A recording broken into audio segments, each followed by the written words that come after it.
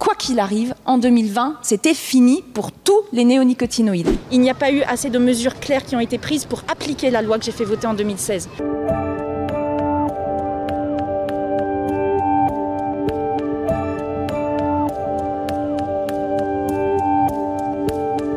On a pris une décision qui est une décision qui est très restrictive, c'est-à-dire qu'on euh, ne parle que des betteraves, on on ne parle d'une dérogation que si on a un hiver doux, c'est-à-dire que si l'hiver n'est pas doux, eh bien, euh, il n'y aura pas de néonicotinoïdes euh, sur les betteraves.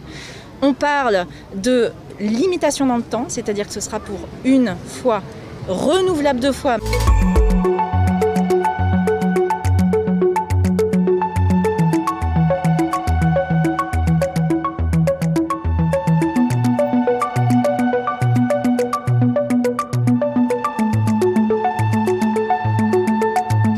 Puceron est très présent euh, dans beaucoup de cultures et à peu près tous les ans, sauf qu'en général les populations euh, restent modestes euh, grâce justement au gel l'hiver. Cette année, sans doute à cause du réchauffement climatique, on n'a pas eu d'hiver, donc pas de régulation des populations de pucerons.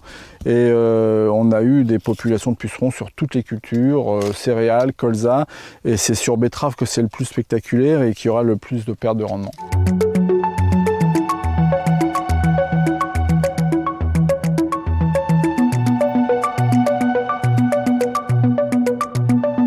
La betterave, c'est euh, un des fleurons de notre agronomie et surtout, c'est grâce à cette betterave qu'on produit du sucre. Et au même moment, au même moment où euh, la France, elle, a pris des lois nationales, c'était en 2016, mmh. ça remonte. Nos partenaires, y compris européens, ils n'ont pas forcément les mêmes euh, contraintes.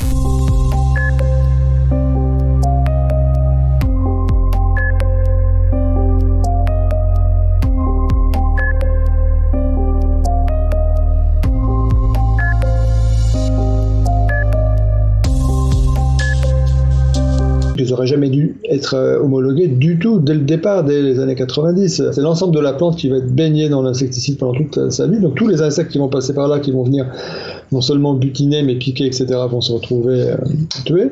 Ou alors très affaiblis si la dose est, insuffisante, mais ça suffit pour euh, faire péricliter les colonies d'abeilles.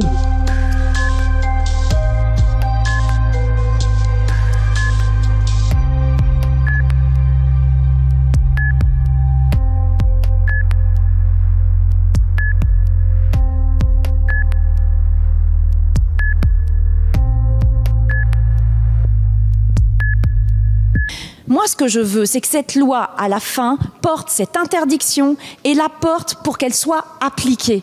Ce que je redoute le plus, ce que je redoute le plus, parce que je connais trop ces sujets-là, ça fait trop longtemps que je me bats pour ces sujets-là, euh, c'est de prendre des décisions qui seraient très jolies sur le papier, mais qui ne seraient pas applicables.